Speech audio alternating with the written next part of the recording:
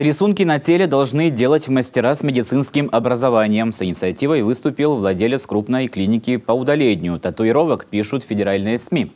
Поводом стала смерть 24-летней девушки из Санкт-Петербурга. Ей делали татуировку дома. Уточняется, что девушка скончалась после укола обезболивающего. Сейчас тату-мастеру достаточно иметь для работы санитарную книжку.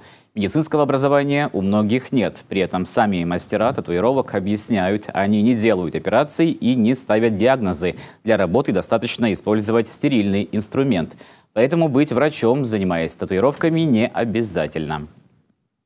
Что касается врачей, многие инициативу о медобразовании для тату-мастеров поддерживают. Объясняют, все-таки человек работает с кожей. У такого специалиста должно быть хотя бы среднее профильное образование. Во время сеанса есть риск заразиться опасными болезнями, например, гепатитом Б. Чтобы этот вирус захватил организм, достаточно его минимального значения.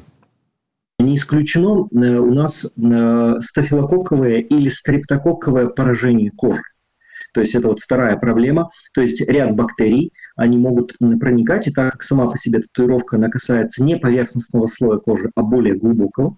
А если специалист не имеет дерматологического образования и не видит на коже знаки, например, того или иного заболевания, подобного псориазу, он может самой татуировкой вызвать раздражение и появление псориатически подобных элементов, например, в месте, где он наносит татуировку.